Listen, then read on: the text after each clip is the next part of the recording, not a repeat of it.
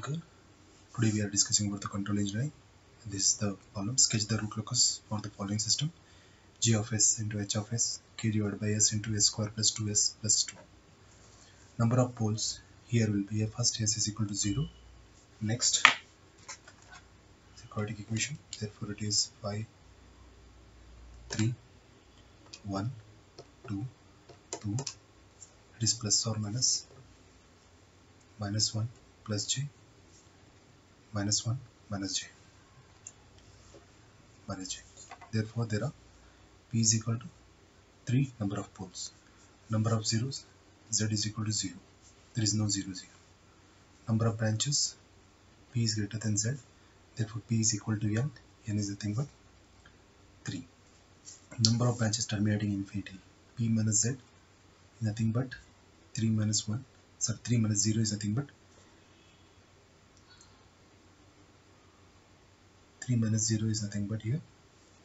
Uh, 3 number of branches terminating infinity now the root locus symmetry about the real axis. Root locus present on the real axis. Now we have to find out the angle of asymptotes where p is nothing but 3 z is 0 minus 1 therefore it will be 2 therefore k up to 2 you have to take 0 1 and 2 now substitute here in this formula therefore theta naught is nothing but theta naught is nothing but 2 into 0 plus 1 180 divided by p is 3 0 is nothing but 60 degree. Similarly for 1 theta 1 will be 180 and theta 2 will be you have to replace the k by 1 and 2 now it will be 300 now centroid centroid sum, sum of the p what is sum of the p here. 0 minus 1 plus j minus 1 minus j 0 this and this cancel divided by 3 by 0 the answer will be minus 0.66 breakaway point. 1 plus g of s into h of s is equal to 0 therefore 1 plus this to write in place of h of s and g of s plus k divided by s s square plus 2s plus 2 is equal to 0 and it can be written as s is equal to s square plus 2s plus 2 plus k is equal to 0 further s cube plus 2s square plus 2s plus k is equal to 0 therefore k is nothing but minus s cube plus 2s square plus 2s and now dk by ds is equal to 0 dk by ds is equal to 0 now differentiate this one. It become 3s square plus 4s plus 2 is equal to 0 now root for this one is appears s is equal to 1.667 plus or minus 0.47j therefore it is a complex it is a completely complex no break away point here. It's very important. Because of the complex no breakaway point no breakaway point exists. Next is nothing but crossover point over the imaginary axis by using the RH array. We are taking this point in order to find out the crossover crossover point. S cube plus 2s square plus 2s plus k is equal to 0 and it can be written as s cube s square s1 s0 1 2 2 k. Also multiply this and this. 2 into 2 k into 1 divided by 2 it will be 4 minus k divided by 2 4 minus k divided by 2 this will be 0 again this and this it will be k. It will be k in this way. 4 minus k divided by 2 into k 0 into 2 divided by 4 minus k divided by 2 this and this cancels this will be 0 it will be k, k. now find out k term.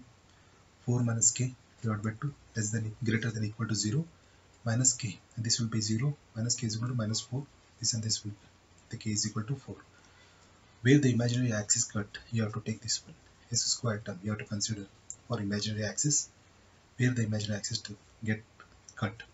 2s square plus k is equal to 0 2s square plus k is nothing but 4 equal to 0 now s is nothing but s is nothing but plus or minus j 1.414 this is the value they have obtained this is the value they are going to obtain. Okay? Next you have to find out the angle of departure. Why we have to find out the angle of departure? Because of this one.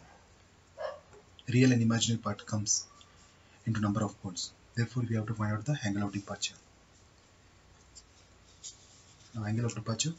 First I will consider a small diagram for finding the angle of departure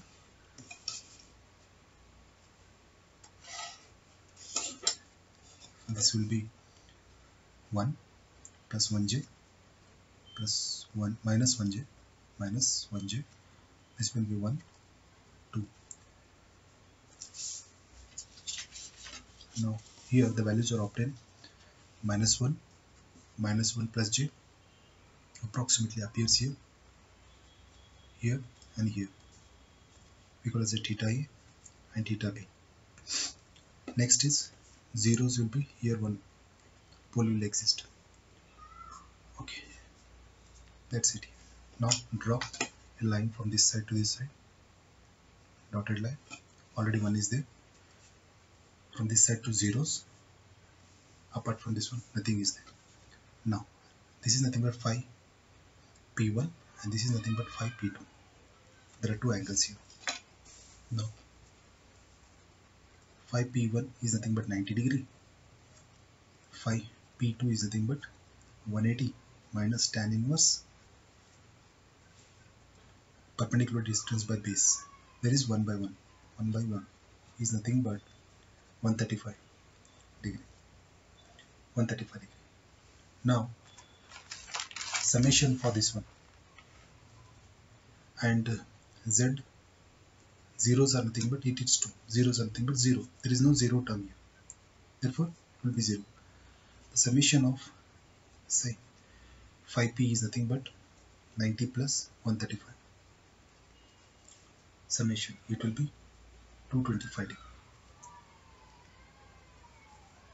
Next phi is nothing but summation of phi p minus summation of phi z is nothing but 225 this will be 0 225 now theta a is nothing but what? Theta a is nothing but it is a fixed one minus 180 divided by 5 you have to do it. Minus 180 minus 225 is nothing but minus 45 for theta b it is nothing but minus theta a. It will be plus 45 plus 45 this completes the angle of departure. Next I will go for the graph. This is the graph. I have taken x-axis 1 unit is equal to 3 centimeter and y-axis 1 centimeter 1 unit is equal to 3 centimeter. This is I have drawn it. This is the imaginary part j omega is the real part. Real part. First we are going to identify the poles. What are the poles? Here poles are nothing but 0 one more one pole is there. Next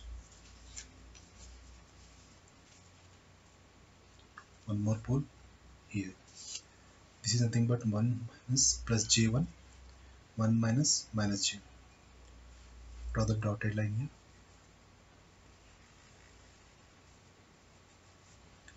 Okay next. As we know that it is a complex one imaginary part comes in picture therefore no breakaway point there is no breakaway point occurs here no breakaway point therefore what is uh, centroid? Centroid is 0 0.66 0 0.66 you have to do in this way. 0 0.66 into 3 0.66 into 3 0.66 into 3 is nothing but 1.98 centimeter. Count it 1.98 this is 1 around here sigma is equal to minus 1 point sorry 0 0.66 0 0.1.98 centimeter. This is 1 1.98 next next is about you have to find out the angles. Angle 60 degree 180 degree 180 means this direction. 180 60 you have to do it from the centroid 60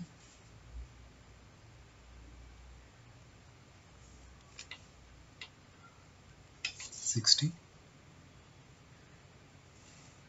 the angle will be 60 here.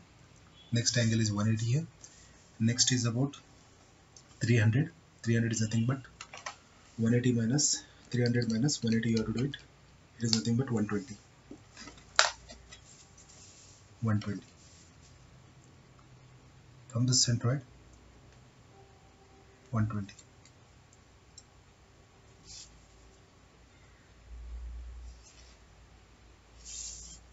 120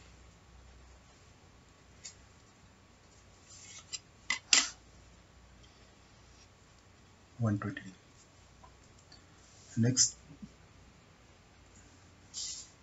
This complete this incomplete no breakaway point no breakaway point. Now you have to go for angle of departure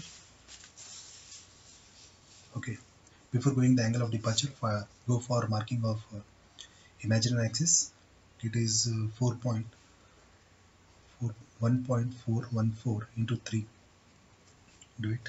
You will get 1.4 into 3 is nothing but 4.22 4.22 is this is 1 this is 2 this is 3 this is 4 this is 1 2 3 4 4.22 around here. 4.3 1 2 3 4 4.22 4.22 minus 1.414 plus 1.414 4.42 centimeter centimeter both sides you have to take in terms of centimeter. 1 2 3 4 1 2 3 4 excellent. Next angle of departure here. This is the angle of departure.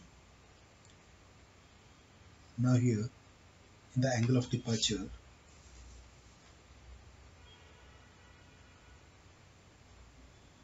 this is the angle of departure the angle they have given it what is the angle? 45 minus 44 for theta a. Theta b uh, plus 45 it will be minus 45 minus means you are just tilt the protractor again this way. Minus and take 45 degree from this direction. 45 this is the 45 positive 45 it means it a thin line should be drawn thin line. Thin line. Now from here it goes in this way. Infinite. From here